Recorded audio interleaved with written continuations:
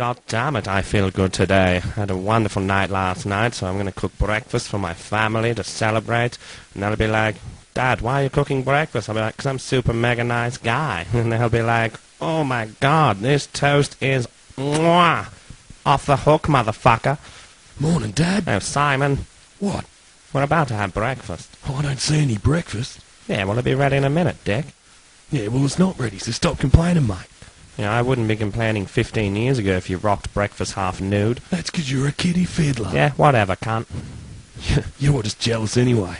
Why would I be jealous of you, Simon? You have the body of a crippled asshole. Should make fun of disabled people, Dad. Fuck disabled people. They're disgusting.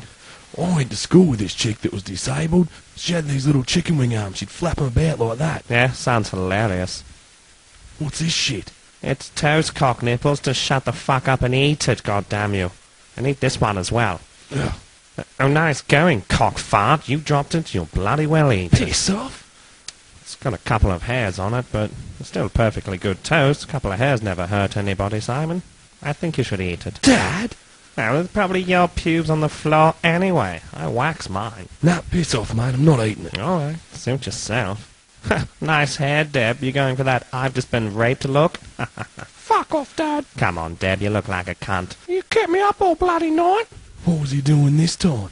barking like a fucking dog. Why would I bark like a dog? Because you're completely fucked. Oh, yes, Deborah, and I bet my face was caked in shit. I was sacrificing a lamb in front of Jenny. I wore this cute little puppy dog outfit with the ears, and then I made her set fire to my cock. Your imagination is wild. What did Jenny say? Oh, Jenny was just like, I can't stand the smell. It's so disgusting. Dad, I just found a dead sheep. It's a lamb, forget about it. It's so smelly and yuck. I don't like it. Ugh. Yeah, have some toast. Yuck, Dad, I'm not eating that. It's covered in hair. Oh, come on, Jenny, you've had worse things in your mouth. No way, Dad, I'm not eating it. It's yuck. Don't make her eat pube toast. Morning, guys. Morning, cat knuckles. Yeah, what's for breakfast? Care for some toast, Yeah, buddy? beauty, love some bloody toast. You didn't hear anything weird last night. yeah, I heard you last night, you know, barking like a dog when I was sifting through your bins for Deb's dirty tampons. You were what? Why'd you throw 'em in the bin, Deb? They don't belong to you anymore, mate.